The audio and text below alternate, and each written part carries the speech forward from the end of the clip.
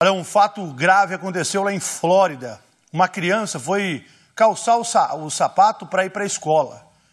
Dentro do calçado tinha um escorpião, acho que um escorpião amarelo. O helicóptero do SAMU foi para a Flórida, trouxe a criança aqui para Maringá. Claudio Omar acompanhou o resgate. Vem comigo, Maringá. Alô, Flórida! Coloca a reportagem no Balanço Geral.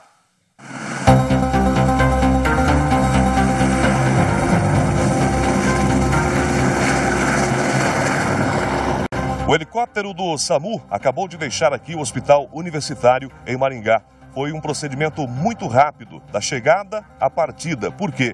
Viaturas já esperavam aqui as ambulâncias para fazer o transporte de um garoto de seis anos até o hospital universitário. São alguns metros apenas. Cumprimento de protocolo.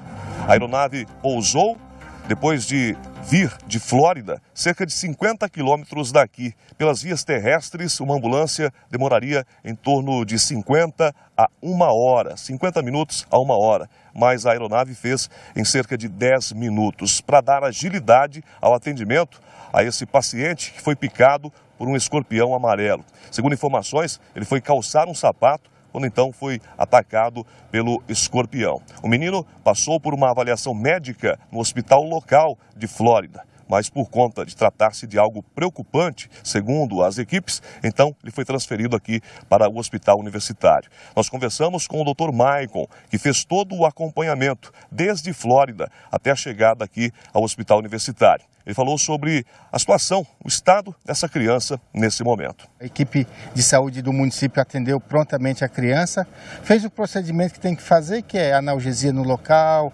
remédio para dor, assegurar a pressão da criança, deixar a criança estável, né? E ligou para o SAMU. Aí rapidamente foi acionada a aeronave, qual é a situação dela nesse momento, doutor?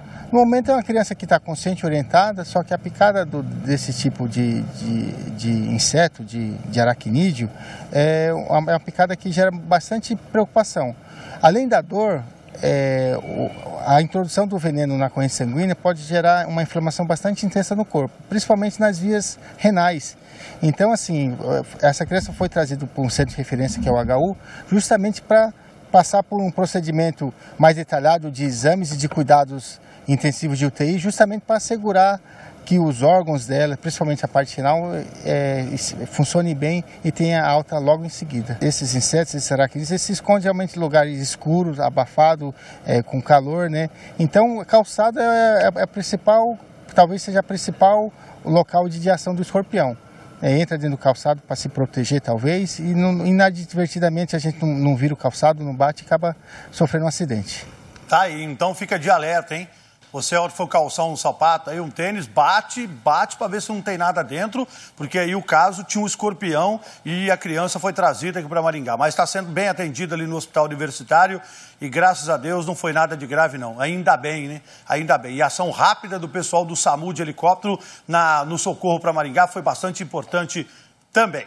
Quero falar